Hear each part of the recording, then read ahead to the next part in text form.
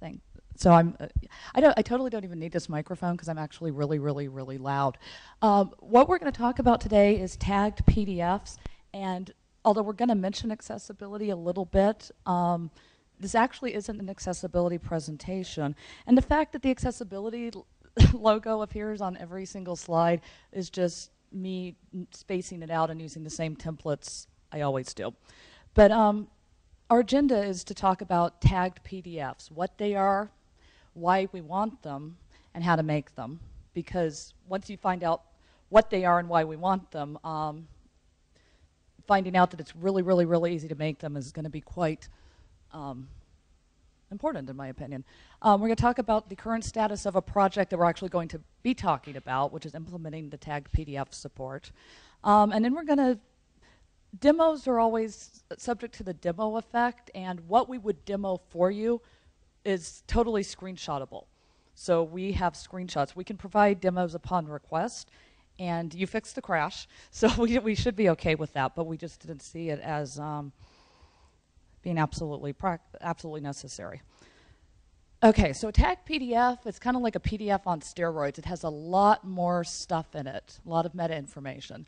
Um, in particular, as you might have guessed from the name tagged PDF, it has tags, element tags. Very, very, very similar, and in some cases exactly the same, as you see in HTML. There are also IDs for every single element. There's alternative text if, if it's provided. Um, and there's also, I had to kind of Google to find out exactly what this means from the spec. Replacement text for symbols. The spec makes it pretty flexible but the first thing, or the one above it, um, alternative text for images and other things like that, those are like big phrases um, and descriptive. Whereas for symbols, um, Unicode characters, a single letter that's a graphic, those kind of things. So the replacement text is assumed, according to the spec, to be a single character. And that's what the difference is between those two things. Okay, why we want them. And I told you I was going to talk a little tiny bit about accessibility. What's motivated our implementing um, tagged, P tagged PDFs is accessibility. Because there, there's a couple problems with Evince, as you guys may have noticed from our recent Friends of, Friend of GNOME campaign. Oh, hi, Karen. You're late. and somehow I've just been fired from the board. Um, from the Friends of GNOME campaign, it was just a big old, we need to make this stuff accessible. And part of that is, you know, I mean, we have zero accessibility right now. Part of it is for non-tagged PDFs, getting the minimal level of accessibility. And what that will give um, users who are blind is access at about the level of gedit. And as you know, gedit doesn't have things like headings and list items and stuff like that. It's just text. So having just text is better than having nothing at all. And we're not going to talk about that aspect of what we've been working on. But there is so much semantic um, and structural information in XML mark, marked up, marked up, marked up documents like that something is a heading level one or heading level two or a table and how many rows and columns are in that table. These are all things that as sight as excuse my stuttering, as sighted users, we just look at and bam, you know, we know what's going on. If you're a user who is blind, your screen reader needs to present that in speech and in Braille. And in order for that to happen, we need access to all this um, meta information. And we don't have it because Poppler has absolutely no support for tagged PDFs. And by the way, thanks again, Friends of GNOME. This is lots of awesome stuff related to this whole project is happening because of that campaign. Now, honestly, I could care less about some of these things. I am totally motivated by accessibility, but I think the rest of the community should really care about tagged PDFs for, because of the items on this slide. You know, we keep talking about, you know, are we still calling it GNOME OS? But we're talking about getting on tablets and smaller devices with smaller screens. And if we cannot reflow these documents on, you know, a little Android phone or a, a GNOME phone that looks like my Android phone, you know, the whole PDF experience is just going to suck on the mobile platform. So if we have tagged PDFs, we could really easily do reflow. Look at my slide, excuse me. Oh yeah, and the rest is the copy, paste, and export. if I select text from a, a beautifully marked up PDF, it would be really cool if I don't lose not just that formatting, but you know the fact that something is a heading, or the fact that something is a table. If I just get text, I might have to reformat it, or at that point I might just, you know, it might not be worth it. I can type fast. Okay, so, so there's some good news and some bad news. The good news is on the right. Um, if you use LibreOffice, it, and I'll show you a screenshot in a minute, it is like uber easy. It's like one step to export your document to tagged PDF. So that means if you care about accessibility, if you want the reflow, if you want the copy and paste, it's a single step. The bad news is like no one else supports this. Alex had done a bunch of research the other day about this, and it's like, AbiWord, no. Google, I mean, it's literally, we're just like, no, no, no. It's, you know, it's kind of like Soup Nazi on Seinfeld. No tagged PDF for you. There is, um, and you know better than I do, some people are interested. Yeah, in fact, it's, for example, in the case of Google Docs, uh, documents is funny because uh, although you can't export to a tagged PDF, you can export to a ODT and then use LibreOffice to uh, export to a tagged PDF. That means that Google Docs has all the structure, all the information for that. I don't know if Google Docs has a plan to export to tagged PDF, but in the case of LaTeX, uh, there are a lot of interest of that because after all, for example, in the academics, um, they want to, I mean, it's in, in a lot of faculties, it's mandatory to have accessi uh, accessibly complain uh, PDFs, so they need that. And they also really interested because they want uh, mathematics uh, being accessible, something that is not happening right now. Uh, in the case of AbiWord, it's also happens the same. You, when you save as a PDF, is there is no option to create a target PDF, but you can export to ODT and with LibreOffice create a text PDF. So then what I mean is that all the structure is there, so they are not using that. And then there are a lot of tools that create PDFs, but they don't have any option or any interest of, we don't know about interest. In fact, we have a list there of tools, but then, uh, but then we could add at the end, etc. Because there are, this is what happens with other tools too. Yeah, it was kind of funny. Um, I said, you know, Alex, can you get us this list of all the tools? And it's kind of like, okay, all these are no. May I stop now? it's like, yeah, you can stop. So there may be other tools out there that do have this support, but we, we found one that has perfect quick support, and we found a whole bunch that don't, and then Alex got tired. Okay, I'm hoping, oh, you can never get like an entire dialogue and big enough, but I'm hoping you can see the one little thing that's checked that says tagged PDF. And so basically all you have to do with LibreOffice, and this is for Writer and Calc and um, Impress and presumably the others, you just have to choose um, Export to PDF from the File menu. Dialog pops up, check Tag PDF. Now something I want to point out is that right above that checkbox there's PDF slash A1A. All standards need to have lots and lots of letters and numbers in them. I don't know why. That is actually, you know, we, we said that a tagged PDF is kind of like PDF on steroids. Well, this PDF A1A is kind of like tagged PDF on steroids. And what it gives you, or excuse me, the objective is for searching and quote unquote repurposing document content. And it includes, and I don't understand this in standards at all, I would think that B would include A, rather than A including B. But for some reason, the 1A includes 1B.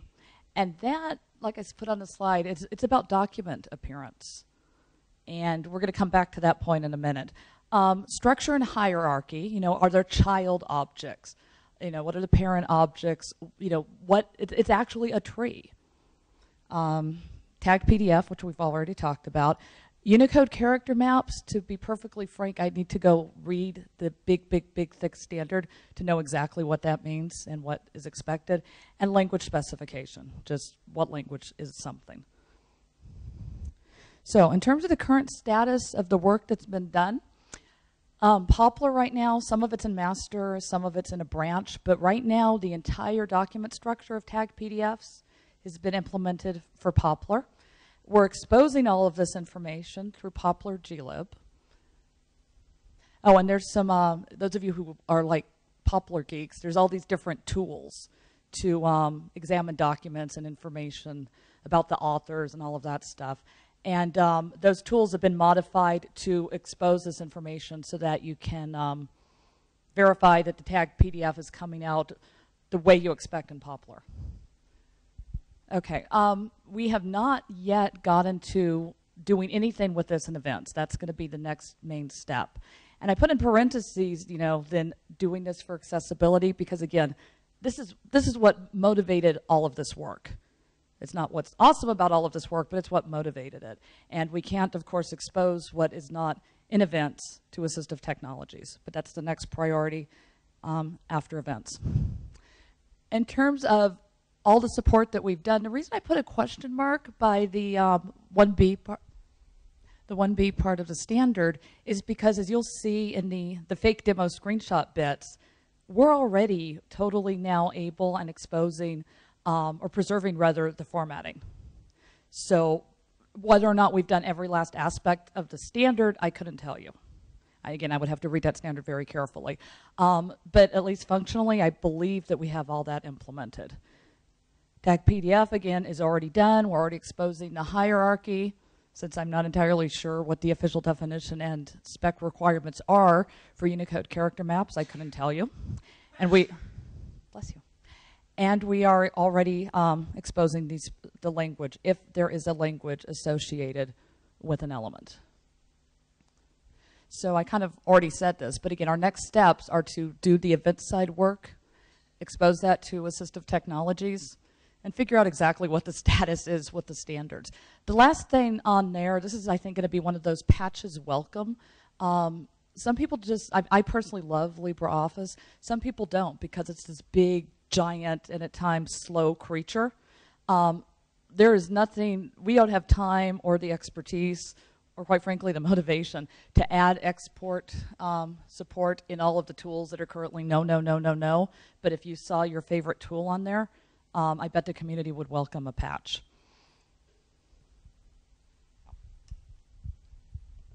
And in relation with the previous slide about um, about exporting the to using uh, tagged PDFs, uh, this is something like the egg and the chicken problem. Uh, when we were I, when we were talking about that several months ago with Evince maintainer, he said that one of the reasons they were not uh, prioritizing uh, having target uh, PDFs, so reading target PDFs, because most of the tools were not creating them. And in the same, in the same way, tools that create PDFs were not really, really worried about creating target PDFs because the PDF re uh, readers were not able to read uh, that support. So, uh, well, well, I want to. The other reason um, that Carlos mentioned is that it's like he said nobody knows what a tagged PDF is, and that was one of the things that motivated me, you know, telling you what it, you know, why you should want to make tagged PDFs. But I would kind of argue that even if all you guys start making tagged PDFs, that there is actually still a lot of usage going out there because the legal requirements, for, you know, if you are legally bound to have all of your documents accessible, you're, you already know about tagged PDFs and you are already producing them. So even if no one else is making tagged PDFs, governments, um, educational institutions, and other big people who could be sued for um, not providing documents that are accessible, they're already doing the tagged PDF. Carlos didn't know that. Okay, and now going to the point of this slide that is getting the code. This is funny because now is the moment that we talk about what is the work that we have done, but the truth is that we didn't did that, that work. So we would like to thank uh, Adrian Perez. Adrian Perez, uh, he, he did that work because he already had a lot of experience uh, doing document parsing. I mean, we are calling that him document parsing extraordinary. So as that part was not at all related to accessibility, we thought that was uh, a, a, perfect task for him. And we also, uh, the other work was made by Carlos Garcia, that is the maintainer of Poppler Evince, and he was uh, reviewing all the code. So thank you very much. So, and if someone is interested about the code, is right now at the Poppler uh, repository. Right now is at is at a branch and in, in also in some patches and some bugs. uh, in fact, some of the bugs were um, uh, created this week, where, where we were preparing the, the demonstration because we were using the tools. Uh, in fact, the first bug is about providing the tools with the support of the uh, of the tagged PDF, and the other is a, a little bug about a, a missing uh, a missed uh, tag. And right now, during the previous weeks, Carlos Garcia was reviewing all the code, so some of the patches on that on that branch is already on master and is going, is in on reviewing mode.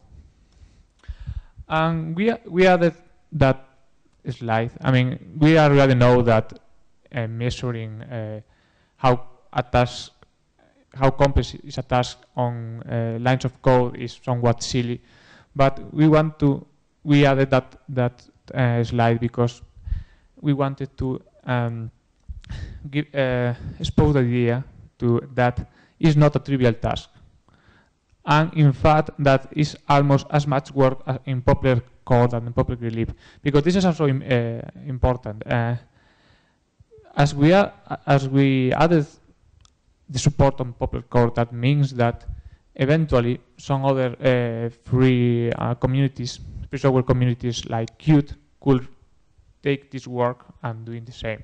So we are, this is another example of collaboration with other free software communities.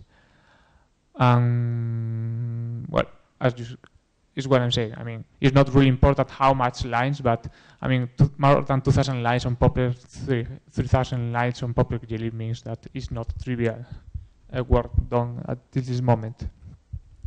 So, as in, in, in the advertisements, what we have before, what we have after. So before we have uh, a tool called PDF info that just prints some info about the PDF, the author, etc. And then we have some tools that created, based on the PDF, they created, they extracted the text, but was plain text without structure. And then we have another uh, tool that created an HTML. In fact, this is one of the reasons we added, we mentioned that tool is because nowadays on the Orca list, some people uh, ask, I would like to create a PDF, but I can't do that with the Evince, blah, blah. What is one of the options? And in several cases, uh, people recommend to use PDF to HTML to take the PDF and create HTML. But the problem with that is that you get a PDF without not sorry, uh, you get a HTML without not a structure. And this is the sample. At you, at the at your left you can see the, the original PDF with headings and all that stuff, and at the right the HTML that you got before the tag PDF work. And it's more or less the same, but without not uh, formatting at all. I mean, okay, you have the bold, but uh, in the HTML that you have, you you don't have the information about the headings. And for example, if you if you use a table with with that tool, you you have only the content of the table, with just just printed without any formatting, so you don't know if you are in the first cell or in the second row or on the second uh, on the second column. Well, this is exactly this is what I was saying. Although, although uh, well, I think that probably for you it will be really complex to read, but if you if you then take the PDF when we publish this, you can see at, at the right that you have headings but only text about them. So it's without any formatting at all. So after, as, as we were saying, we added the support, uh, sorry, we added, Adrian and Carlos added the support of tagged PDF from Poppler. So they also updated the tools in order to use that support. So uh, Adrian created a tool called PDF Struct.html that is equivalent to the previous one, but it maintains the, the, the structure, the, the structure that the PDF contains. And he also added some, um, sorry, some new options to the PDF info in order to print the structure. And finally, uh, to add Poppler glib demo in order to display the hierarchy. So, hello. So we have the same example At the left you have the PDF, and on the right you have the HTML, but now it it maintains the structure of a heading. Sorry. Well, this is what I had alluded to before, that if you remember before, the, all of the formatting was lost. Th- th- This gets back to that 1B standard that I need to read very carefully um, to see if we're not implementing any aspect of it. But this time, the, you know, like the italics um, and heading two got carried over. So there's an, like I said, there's an excellent chance the bulk of the 1B standard is now implemented as well.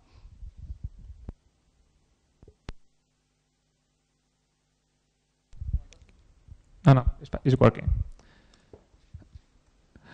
And this is a, a screenshot of uh, the tool. I mean, uh, in fact, here is easier to, to see that now we have a structure of the document because we have different blocks with this H1 means header, so we can see that it maintains the structure.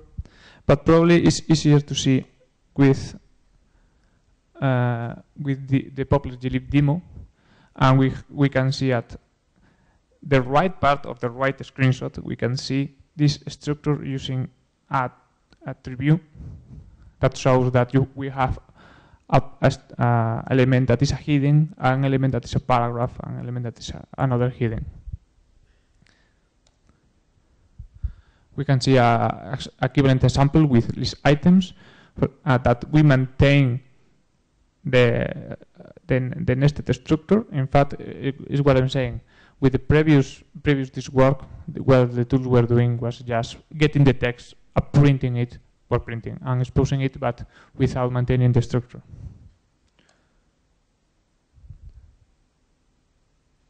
And this is the case of the of a table that, as you can see, the HTML maintains the structure of the table. We have the columns, we have all the rows, and with the previous uh, tools we only have the text.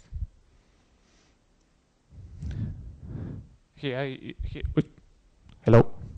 Here you can see the PDF info that is a terminal terminal tool that it's maintaining the different rows and headers from from the table. Um, I think that, as you can see, we are not doing a real-time demo because we are already experts on this kind of presentations and we know that, that when you do that with half-made work it usually tends to crash so we, we have the screenshots. As I, as I see as I say you can in short we are going to publish these uh, slides so you you could review that in detail if you want. So any question?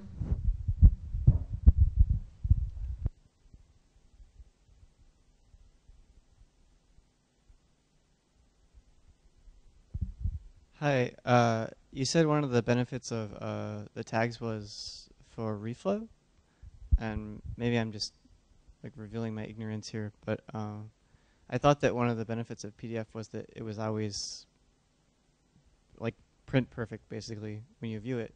So I was wondering like how the idea of reflow fits into like the typical PDF use case. Like, is it like a fallback mode, or is it like a Yeah, I mean, this this is funny because when we were doing some research for that, when people were sadly saying the same on the forums, were saying were saying that PDF were not thought about that, that the idea of a PDF was maintaining a perfect view, but the truth is that in the end, it, you you want to see the document. Uh, no matters uh, uh, what is the size of your screen.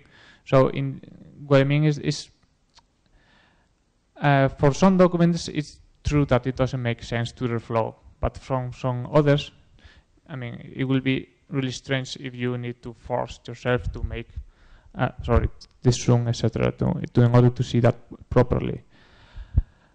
And in fact, there are some doubts about how to do that, uh, how to properly tag that. Um, but the idea is having some something similar to what HTML has uh, right now. I mean, this, in HTML happens the same. You have the browser, and as you move the the mobile phone, is uh, automatically reflowing. That does. I mean, I know that is it's strange, as you say, because the original idea of the PDF was that, but we we also need to take into account that this tagged PDF support was added uh, um, recently, let's say recently, we have here for some years, but they need, uh, in the same way that the original uh, purpose of the PDF was not, was, was having something uh, more friendly than PostScript. But since then, it started to evolve to something else, something more, how to, I don't know how to say that, more document friendly.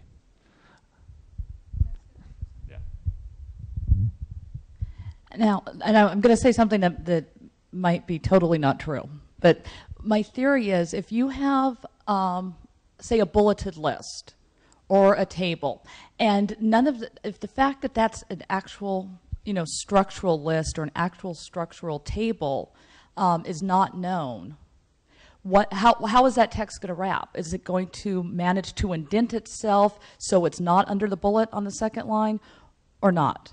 And if it's just, you know, where, I mean, I think list items are going to be the, the, the biggest use case, but, am I echoing? Um, but, you know, tape, tape, I'm sorry, you, you know what, I am really, really light sensitive, which is why I wear sunglasses, sorry. And I just lost my train of thought. No, it's, it's not your fault. Okay. I don't know if we are already uh, answer your question or I guess, yeah, I, I kind of see what, what you're getting at. I, I think the bullet case is the biggest one. Oh, sorry. I, just to repeat myself, I think the bullet instance is the biggest one because,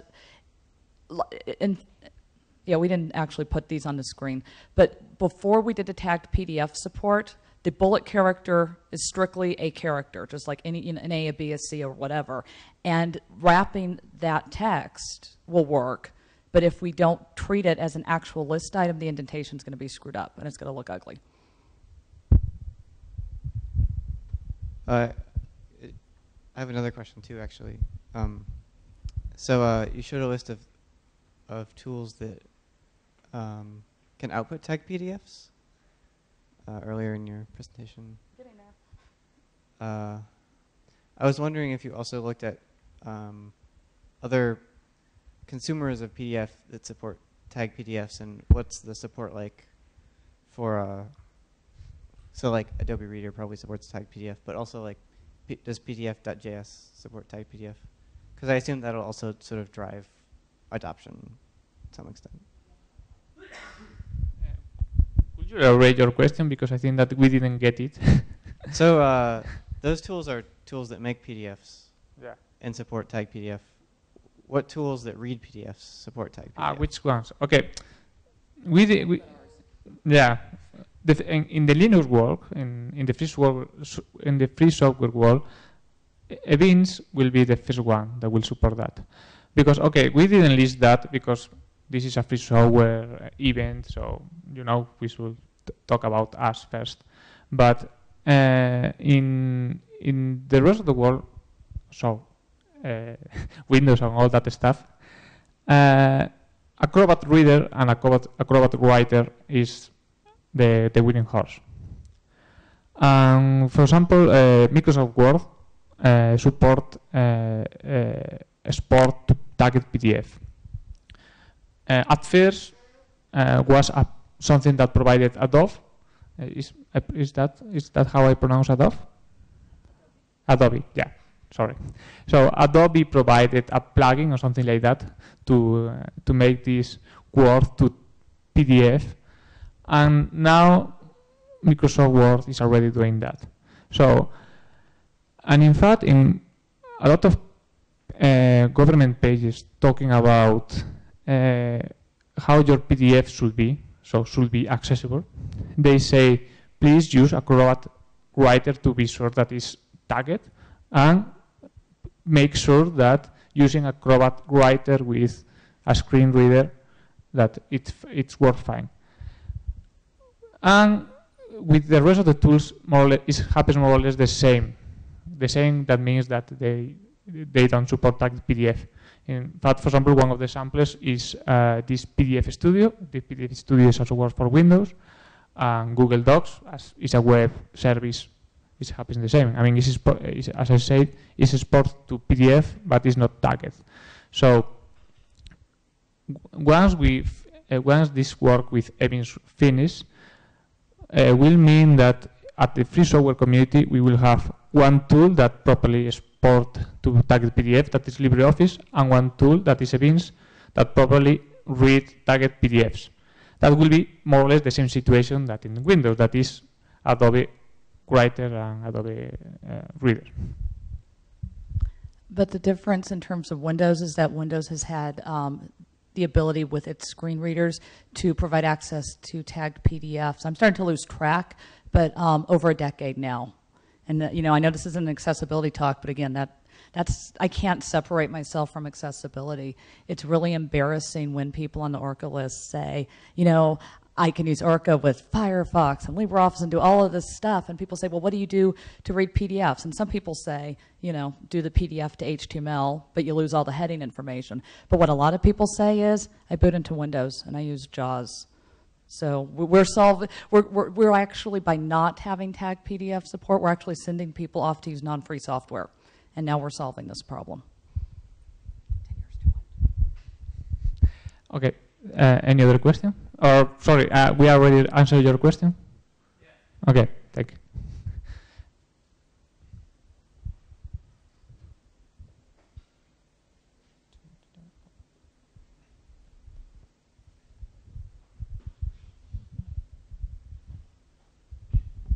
What do you think the next most important thing is um, to improve accessibility in GNOME?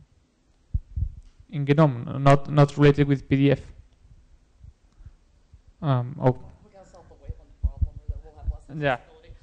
exactly. The next is something that, uh, in fact, doing all the presentations that I have on on this GUADEC, I was not able to go to a lot of presentations, but one of two of the presentations that I was able to go was Wayland. because the next thing for the the next challenge for the uh, accessibility team will be the Wayland support. Uh, right now, it is PI2 uh, works with X. In fact, has dependencies with X. So the next big task will be uh, getting sure that all that stuff works with Wayland.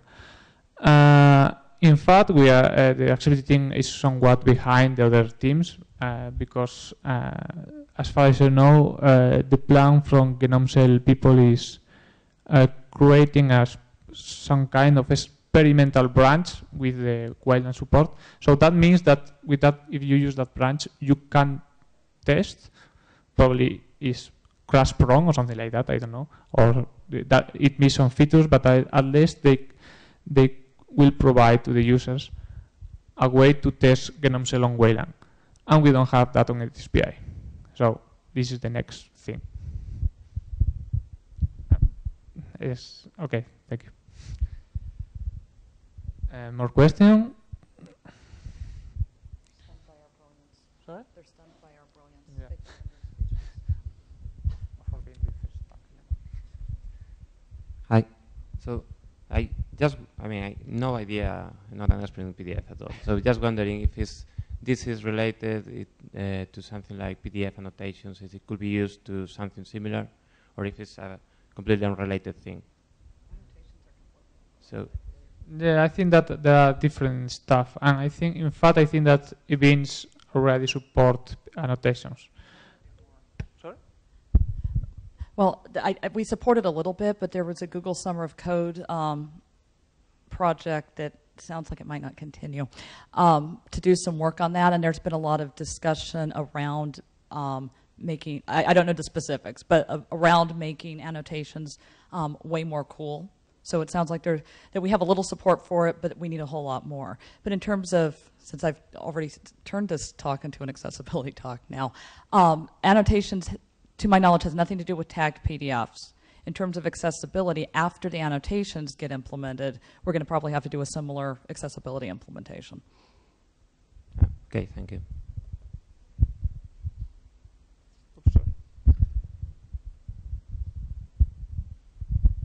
So I think that nobody. Uh, thank you for being here. Thank you for the questions. And see you around.